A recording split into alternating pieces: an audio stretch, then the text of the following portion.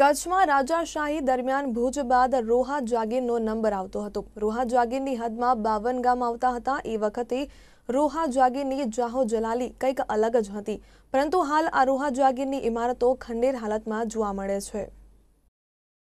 કચ્છના રાવશ્રી ખેંગારજી પહેલા દ્વારા કચ્છની ગાદીએ બેઠા ત્યારે તેમણે પોતાના ત્રણેય ભાઈઓને ભાગની અંદર કેટલાક ગામની જાગીરો આપી હતી.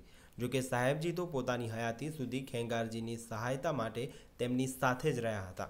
તે જાગીરો પૈકી રોહા જાગીર સૌથી મોટી અને વૈભવશાળી હતી. કચ્છ બાદ રોહા જાગીરની દીવાની અને ફોજદારી હુકમત હતી. રોહા જાગીરના ડુંગર પર જેલ આજે પણ રાજમહેલના ભાગમાં જર્જરિત હાલતમાં ઊભી છે. આગળનો ભાગ થોડોક સારો છે, બાકી બધું ખંડેર હાલતમાં છે. પરંતુ ઇતિહાસવિદોનું માનવું છે કે આવી ઐતિહાસિક ધરોહરની જાળવણી થાય તે ખૂબ જરૂરી છે. રોવાનો જે કિલ્લો છે. કચ્છમાં ક્યાંય ડુંગર ઉપર આવો ભવ્ય કિલ્લો નહીં હોય. ત્યાં ચારસો માણસો ચારસોથી પાંચસો માણસો રહી શકે એટલી ત્યાં મકાનો હતા. અને મારો જન્મ પણ ત્યાં થયો છે. અને મેં એ વખતે આખો કિલ્લાનો જે ભવ્ય જોયો હતો. રોહા એક રાજ્ય તરીકે ઓળખાતું હતું. રોહાની હદમાં બાવન ગામ આવતા હતા અને બાવન ગામ ખૂબ જ સુખી હતા અને વહીવટ પણ સારો હોવાથી વિકાસ પણ સારો થઈ રહ્યો હતો. કારણ કે જેની પાસે સત્તા હોય તેનો વહીવટ સારો ચાલે અને તેને કારણે જ રોહા આગળ હતું. એમના વખતમાં, દેવાજીના વખતમાં જ આ કિલ્લાની ખાતમુહૂર્ત વિધિ કરવામાં આવી હતી.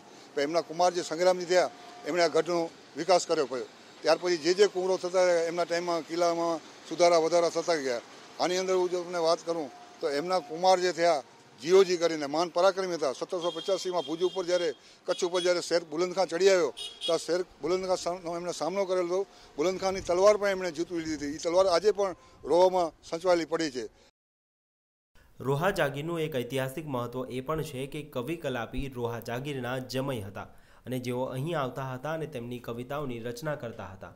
આજે રોહા ગામના લોકો કહે છે કે કવિ કલાપીથી રોહાનો ઇતિહાસ વધારે બની ગયો છે.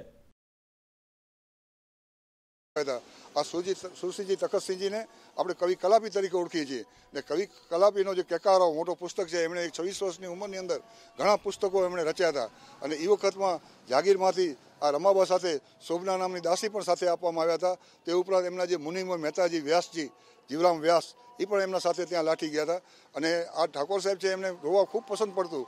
ને રોવા કિલ્લા ઉપર બેસીને એમણે ઘણી કવિતાઓ રચી છે. જે આપણે પ્રખ્યાત છે, રે રે પંખીરા, સુખથી ચણજો ગીતડા, મીઠા ગાજો. આ પસ્તાવો વિપુલ જણો સ્વર્ગેથી ઉતર્યું છે.